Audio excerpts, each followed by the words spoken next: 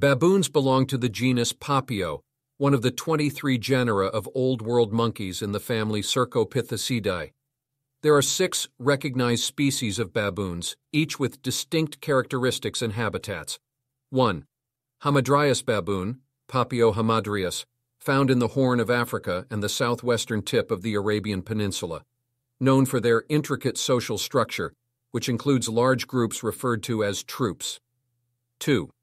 Guinea baboon, Papio papio, indigenous to West Africa, particularly Guinea, Senegal, and Mali noted for their terrestrial lifestyle and adaptations to grasslands. 3. Olive baboon, Papio anubis, distributed across various parts of Africa, including East and North Africa, recognizable by their grayish-green fur and substantial size. 4. Yellow baboon, Papio cynocephalus, inhabit eastern and southern Africa spanning from Ethiopia to South Africa, distinguished by their yellowish-brown fur and distinctive facial features.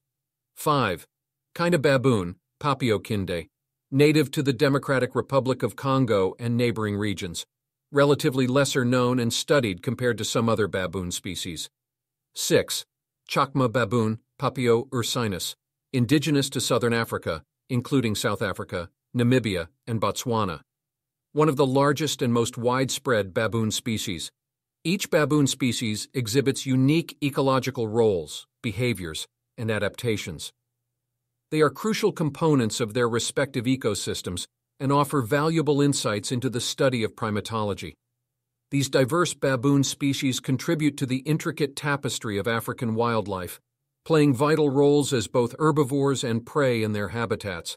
Their social structures, ranging from hierarchical to complex, make them intriguing subjects for scientific research and conservation efforts.